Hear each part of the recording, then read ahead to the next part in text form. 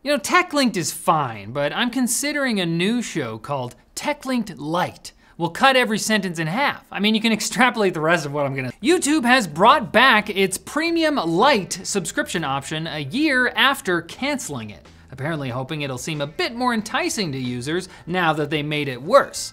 See, the previous iteration of Premium Lite, available in select EU nations, got you ad-free viewing, but not downloads or background play for half the cost of full premium. The new Premium Lite, spotted by threads and Reddit users in Australia, Germany, and Thailand, still costs around half a regular premium sub. The only change appears to be that instead of no ads, you now see limited ads. As seen in a screenshot posted by musician Jonah Manzano, YouTube says this means most videos are ad-free, except for music content and shorts, and there will be non-interruptive ads when you search and browse. And sure, the ads aren't barking at you like a dog, but just by being there, they interrupt my thoughts.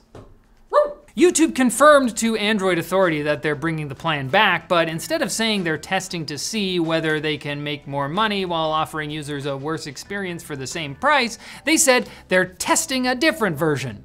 That's not bad. Everybody's different. Some of us are worse. Microsoft and OpenAI have been thick as data thieves for years, but now a New York Times report says the two companies are getting on each other's neural networks. It technically still works, that's what Microsoft is getting a little competitive, putting more resources into building its own AI models, and OpenAI wants even more compute power. That's probably exacerbating another conundrum they're trying to figure out, the question of how and when exactly Microsoft is gonna see a return on the $14 billion they've invested in OpenAI, as the limited profit controlled by a nonprofit transforms into your garden variety for-profit company projecting itself to be both the doom and savior of the world. You know.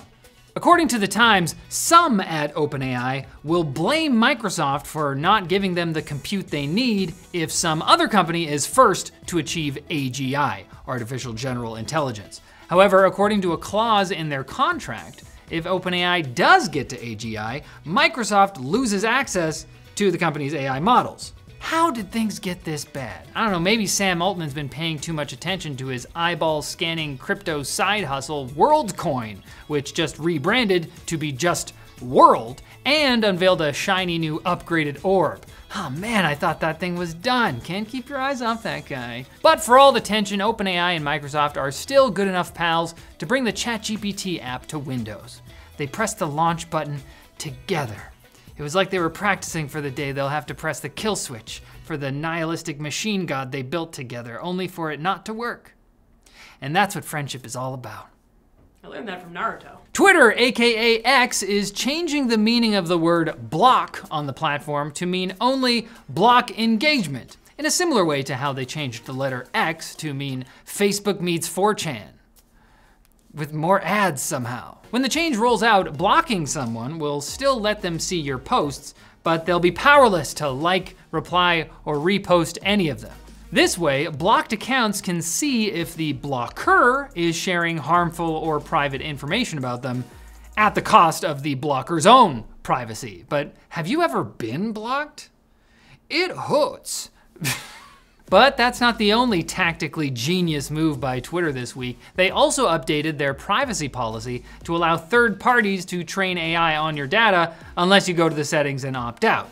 And they changed their terms of service to require legal disputes to take place in a specific Texas court district presided over by the supposedly honorable Reed O'Connor, an investor in Tesla.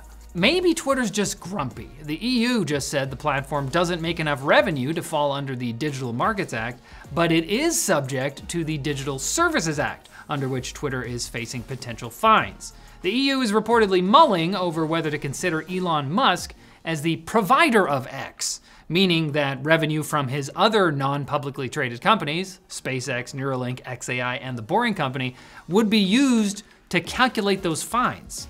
I bet he wishes he had a block button for the EU right now. you know what?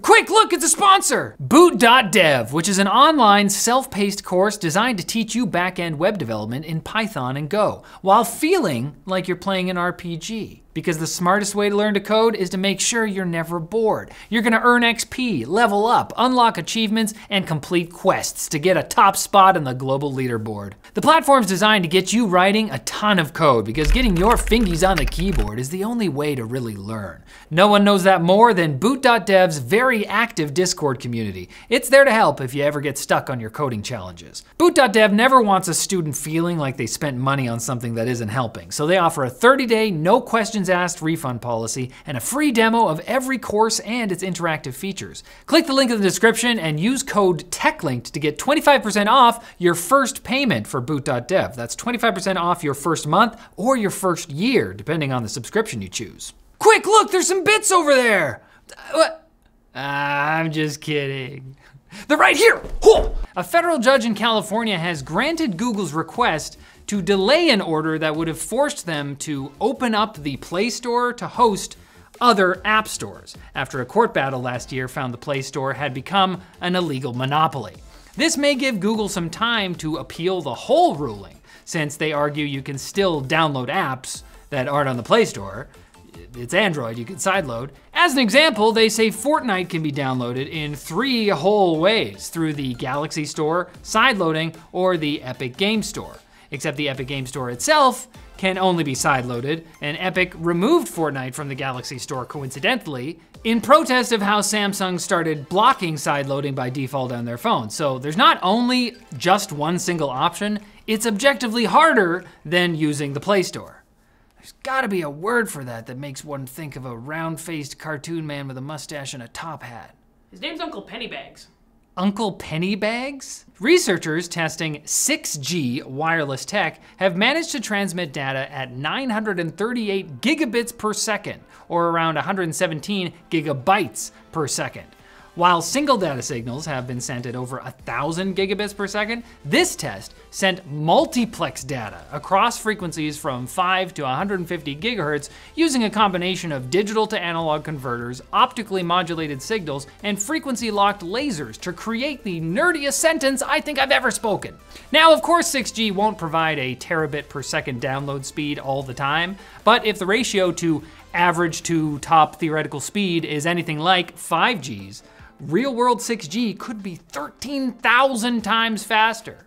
That may sound ridiculous to you, but actually, yes, I agree. Qualcomm has apparently canceled the Snapdragon dev kit and refunded all orders, according to Jeff Geerling, my internet dad. Geerling received an email confirming the news from Arrow, the electronics company from which Geerling received his dev kit. Eventually. Geerling initially expected to receive the dev kit in July, but didn't get it until last month. Geerling himself called the dev kit a missed opportunity, so I'm sure he'll be happy to get his money back. Maybe he can use it to buy a baseball glove and we could, I don't know, maybe play catch sometime. Gigabyte is launching a Thunderbolt 5 add-in card that it's named Thunderbolts 5. a name that seems almost purposely designed to cause confusion. On one hand, it's great that users with older systems will be able to upgrade to Thunderbolt 5, but it's named like the bootleg ripoff of a more popular movie, like Pulp Faction or The Lion Queen. Thunderbolts 5 is a certified add-in card that has a pair of 6-pin PCIe power connectors and grants full Thunderbolt 5 functionality, including up to 80 gigabits per second of bidirectional bandwidth or 120 gigabits per second unidirectional. That's really cool, but it's a bit like instead of being named Robin, Batman's sidekick was called Batmans. Batman's really thinks he's gonna stop crime? No. and Moley Robotics wants you to buy this personal chef robo arm. Well, probably not you, unless you've got a spare $105,000 burning a hole in your pocket, and your spouse got mad the last time you bought a yacht without discussing it first. The cooking machine has one clear flaw, in that it has no means of sensing its environment. It requires a human operator to prepare and position the ingredients where it expects them to be, and at that point, uh, you might as well just make your own food. The or, bot, huh? Or, or pay somebody to make, use the machine to make your food. Probably hire a pretty good chef for that price. the bot also doesn't seem prepared for any kind of improvisation. You'll need to pick from a pre-approved list of dishes, of which there are currently 12. Hope you're a big fan of spaghetti puttanesca, which, fun fact, means prostitute spaghetti. what? But to learn more inappropriately named pasta dishes, you'll have to come back on Monday. And there'll also be tech news, but yeah.